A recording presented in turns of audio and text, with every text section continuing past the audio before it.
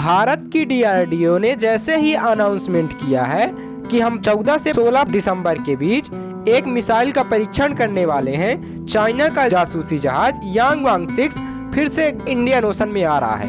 पर चाइना को इससे क्या मिल जाएगा कि वह इंडियन ओशन में आके भारत को अपना दबदबा दिखाना चाहता है? देखिए, चाइना भारतीय मिसाइलों से इतना डरता है कि चाइना यह जानना चाहता है कि आखिर भारत के पास कितनी पावर है। इसी के देखते हुए डीआरडीओ की पूरी परीक्षण पर नज़र रखना चाहता है, क्योंकि चाइना का यांग वांग सिक्स एक ऐसा जासूसी जहाज़ है जो कई किलोमीटर दूरी से ही दूसरे मिसाइलों की दूरी और उसकी स्थिति का पता लगा सकता है। क्योंकि डीआरडीओ ने घोषणा की है कि उसकी मिसाइल का परीक्षण होने के बाद वह इंडियन ओशन से दूर ऑस्ट्रेलिया की साइड में गिरेगा।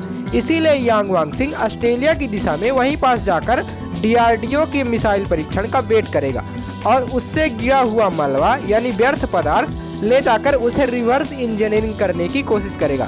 क्योंकि इंडियन मिसाइलों में इतना दम होता है कि वह विश्व भर में एक ख्याति प्राप्त कर लेती हैं और अपनी मज़बूत मिसाइलों के दम से जानी जाती हैं। इसीलिए चाइना भी इस तरह मिसाइल को डेवलप करना चाहता है। इसीलिए चाइना डीआरडीओ द्वारा परीक्षण की जाने वाली अग्नि फाइव की ही सीरीज़ की न्यूक्लियर एनजी मिसाइल का मलबा ले जाकर के रिवर्स इंजीनियरिंग करना चाहता है। पिछली बार जब चाइना अपने यांग वांग सिक्स को लेकर इंडियन ओशन में आया था तो डीआरडीओ ने अपना प्रोग्राम ही कैंसिल कर दिया था। पर अब की बार डीआरडीओ को क्या फिर से प्रोग्राम कैंसिल कर देना चाहिए या फिर हमारे कहने पर डीआरडीओ को अपनी मिसाइल का परीक्षण चाइना की यांग वांग सिक्स पर ही कर देना चाहिए, जिससे चाइना का यंग वांग सिक्स नस्तो नाबूद हो जाए।